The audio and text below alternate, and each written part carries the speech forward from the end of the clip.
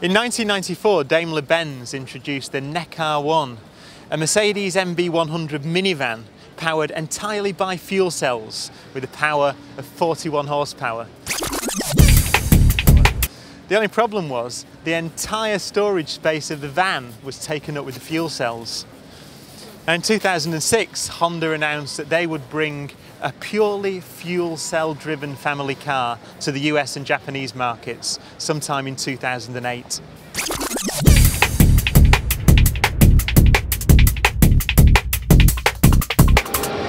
Another landmark in green automotive design is this, the Toyota Prius. Launched 10 years ago in 1997 in Japan, it's the world's first mass market consumer hybrid. Now it's a petrol electric hybrid and what that does is it improves the efficiency by something like 30% over that achievable from a car of comparable size.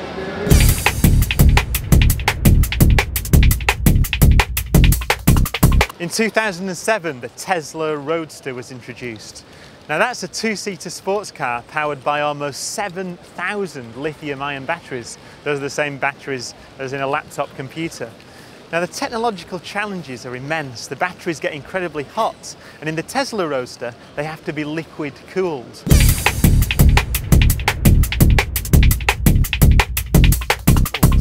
But in case you thought electric cars are boring, the Roadster can do 0 to 60 in 4 seconds. So it's a tremendous advance, but whether batteries and plugging the car into the mains is the answer, I think that's yet to be shown.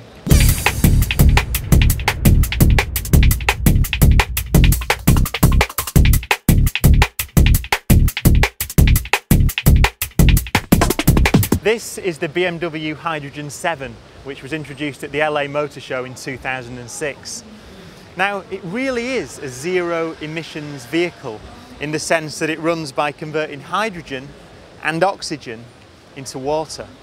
So as long as you can get the hydrogen into the car in a sustainable way, then this car is truly sustainable.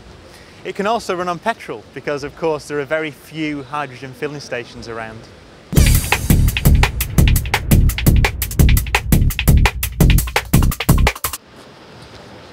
Sustainable car development has made huge progress over the last few years, but it's true to say that there's some way to go to bring that technology to the market and possibly even replace conventional petrol and diesel engines.